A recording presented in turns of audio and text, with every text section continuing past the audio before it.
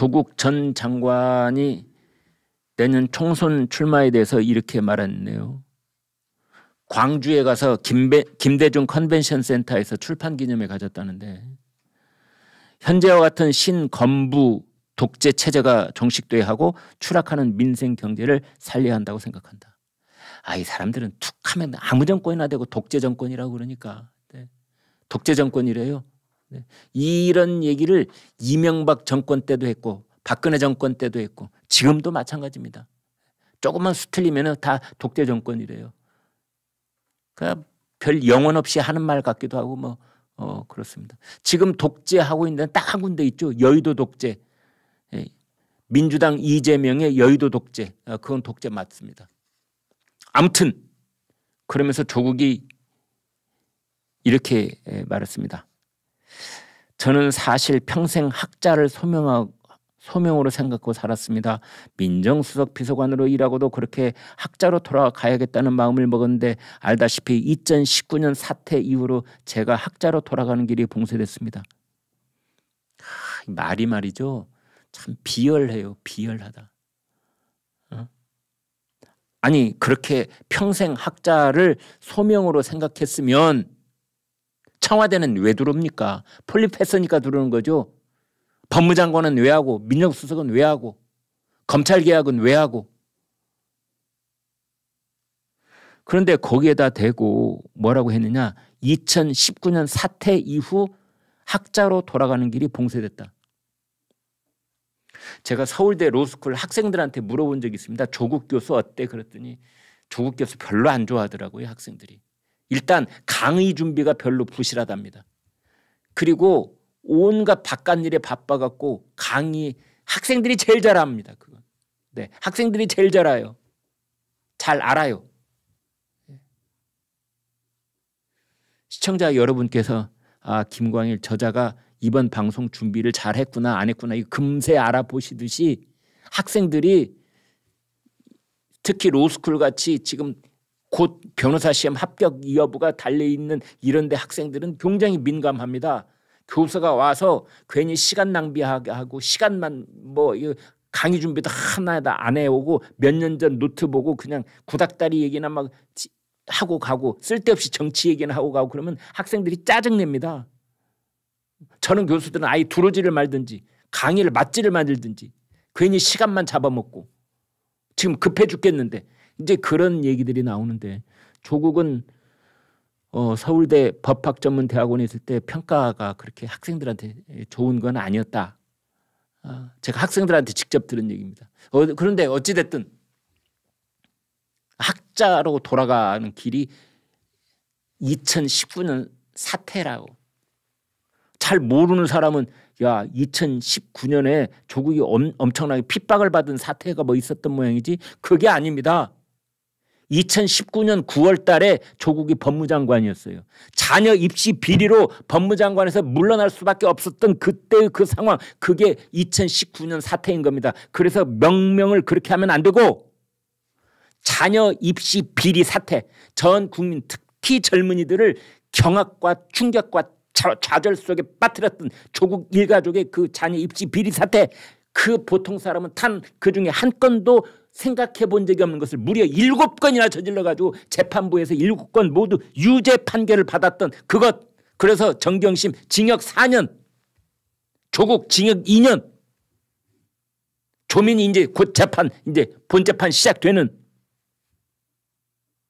그것을 얼렁뚱땅 2019년 사태 이후 저는 학자로 돌아가는 길이 봉쇄되고 말았습니다. 아유 이거 어떻게 해야 되죠? 이런 이런 이런 레토릭 이런 말투 있잖아요. 북 콘서트에서 거기에 자기들 강성 극렬 지지자들 앞에서 그런 식으로 얘기를 하는 겁니다. 여러분도 아시다시피 저는 2019년 사태로 인해서 학자로 돌아가는 길이 제가 평생의 소명으로 삼았던 학자로 돌아가는 길이 봉쇄되고 말았습니다. 그래서 이제 어쩔 수 없이 제가 당을 만들 수밖에 없는 겁니다. 이런 식의 얘기를 하는 겁니다. 에라이.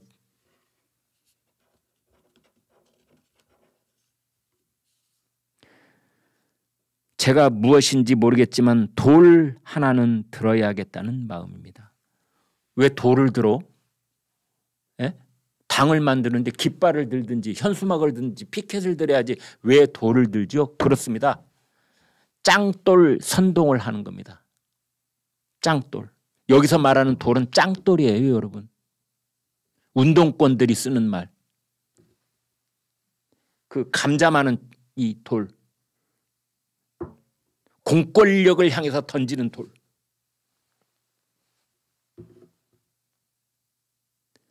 지금 민주당 정권이면 그런 말 안 쓰겠죠. 윤석열 정권이니까 그 반대쪽에 있는 조국은 돌을 들겠다. 짱돌을 들겠다. 그래서 불법 시위를 통제하고 있는 경찰을 향해서 돌을 던지겠다. 윤석열 정권을 향해서 돌을 던지겠다. 용산에 는 대통령실을 향해서 돌을 던지겠다 이런 뜻입니다. 이것은 항쟁, 반역, 봉기 이런 것들을 선동하고 있는 발언인 겁니다.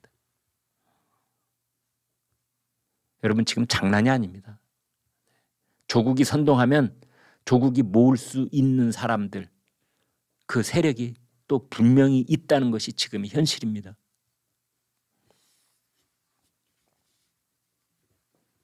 돌을 들겠다. 이낙연 전 더불어민주당 대표가 탈당을 시사하는 듯한 그런 발언을 해서 크게 충격을 주고 있습니다. 어, 방금 전에 라디오에 출연을 해서 이렇게 말했습니다. 당에서 놀아내면 받아야지 어떻게 하겠습니까? 아, 이렇게 말했습니다. 당에서 몰아내면 나가겠다 이런 뜻입니다. 그 지금 더불어민주당 홈페이지에 청원이 올라와 있는데 이낙연 전 대표에 대해서 통합의 장애가 된다. 제목이 그렇게 되어 있습니다. 통합의 장애가 된다. 내쫓아야 된다. 이제 이거에 찬성 지금 방송 시작하기 직전에 한 만 오천 명 정도가 어, 여기에 지금 좋아요를 눌렀다고 합니다. 만 사천 구백이십구 명이네요. 이낙연 전 대표 당내 통합의 장애물 출당 요청 이렇게 되어 있습니다. 어, 이제 그 진행자가 혹시 몰아내 주기를 바라느냐? 음, 그러자 아, 바라기 하겠습니까? 당원들이 그렇게 하고 당이 결정한다면 따라야 합니다. 지금 이낙연 대표는 그 인내심이 바닥나고 있다 그런 얘기를 반복적으로 하고 있죠. 그 얘기는 뭐냐면 이제 이재명 대표한테 뭔가 요구를 하고 있는 겁니다. 도덕적으로 회복을 좀 해라. 민주주의를 회복을 해라. 어, 매우 추상적이긴 하지만 이제 그거에 가장 그 눈에 띄는 것 중에 하나가 그 개딸들하고 결별을 선언을 한다든지 뭐 이런 거를 좀 해달라 이런 것이지요. 다 뭐 명분이 이 번지르르한 그런 얘기들을 하고 있는데 문제는 이낙연 전 대표가 호남에서 상황이 좋지 못합니다. 인기가 별로다 이런 얘기가 여러 조사에서 나오고 있습니다. 본인도 아마 잘 알고 있을 겁니다.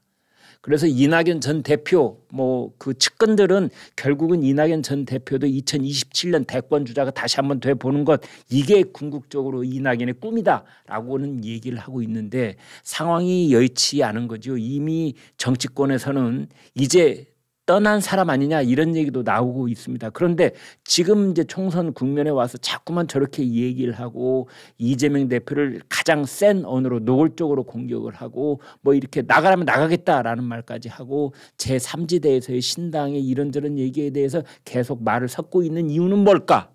박지원 전 국정원장의 해석을 빌리자면 공천 지분 달라는 것이다.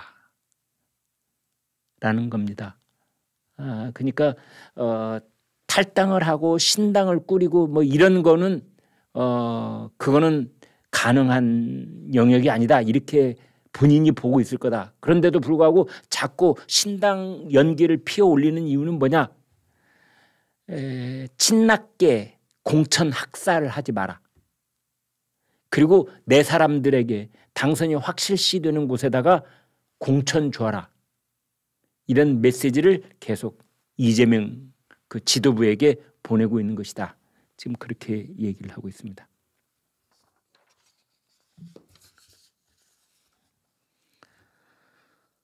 중앙선거 여론조사 심의위원회 홈페이지에 공개된 리서치 뷰 자체 원래 여론조사 한 달에 한 번씩 한다는 뜻에서 원래 어, 여론조사 결과가 나왔습니다. 어, 범보수 진영 차기 대권 주자 적합도를 물었습니다. 한동훈 26%, 유승민 14%, 홍준표 9%, 오세훈 7%, 이준석 6%, 원희룡 4%, 안철수 3% 이런 순서입니다. 그런데요. 한동훈 장관한테만 포커스를 맞춰 보면은 이제 전체 그러니까 그 민주당 지지자, 국민의힘 지지자, 뭐 중도층 다 합해서 물어봤더니 한동훈 26%, 이재명은 37%. 중요한 건 뭐냐? 두 사람 사이 격차가 점점 점점 점 좁혀지고 있는 거다. 점점 점 좁혀지고 있는 거다. 처음에는 한 20% 포인트 차이가 났었는데 지금은 10% 포인트 차이로 났습니다. 이재명은 내려오고 있습니다. 이번 조사에서도 4% 포인트가 내려왔어요. 그래서 37. 그런데 한동훈 법무장관은 전체는 26%인데 보수층 저기 여당 지지층이라고 되어 있는데 여당 지지층이 아닙니다. 저 그, 저건 제가 그냥 고쳐서 말씀을 드릴게요. 그냥 보수층 보수층에서는 47%. 그 다음에 국민의힘만 따로 떼어서 아 여당이라고 해도 되겠군요. 네, 제가 잘못 말했습니다. 여당이라고 해도 되겠군요. 국민의힘 지지층만 따로 보면은 58%.